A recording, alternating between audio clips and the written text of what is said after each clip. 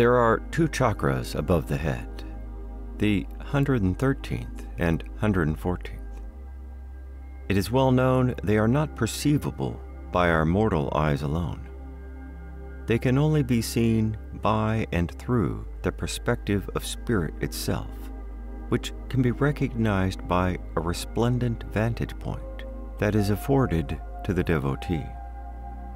These are luminous balls of light directly above the human form. Through the elucidation of this vision, I'm hoping the aspirant can become aware that at this point, one is surrounded by a thousand eyes that are not born or noticed by the physical organ of sight.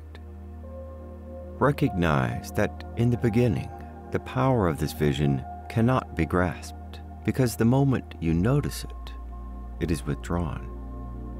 To reiterate, these chakras can't be perceived by the sense organs, but only by the spirit of the individual that is merging with the unknown.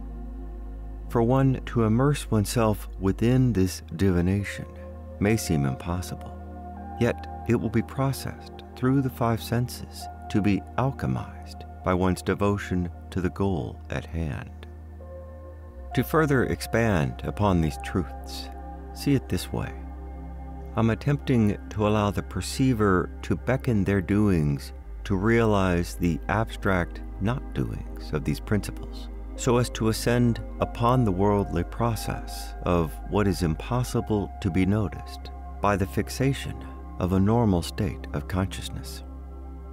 Through the delivery of this discourse, my aim is to bring clarity to that which cannot be clear until it is seen. Within the process of your own life, you, the devotee, will be left with a wondrous quandary of mysterious integration. The 113th chakra is the size of a small melon, and the one above that is a bit smaller than a tennis ball. Yet above this is a droplet of light that resembles the power of a hook, electrically attracted to the heavenly process.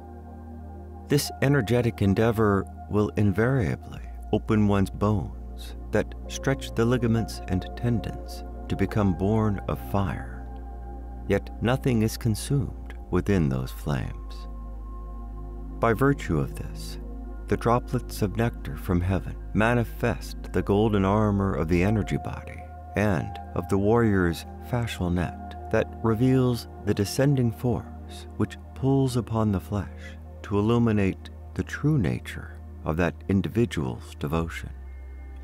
These droplets resemble a plumb line, not too dissimilar to weighted jewelry that appear to the seer as filaments of light which follow the descending process of one's flesh.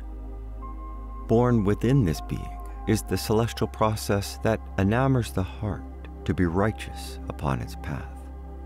It is not dissimilar to being immersed in golden honey. As you ascend, it descends. As you descend, it ascends. As you begin to float beyond the refuge of your physical form, what is left are the plumb lines of the planet to reveal your celestial journey. Here you will find the sun and the moon, which reside within the midst of your physical body and which will illuminate within you the hallways of your own lights.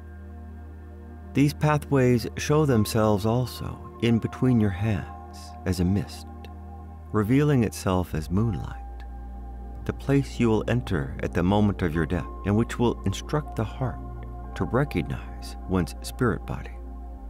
At this point, it is of utmost importance not to fear but to be consumed by that very presence of white luminescence that will become as bright as a thousand suns.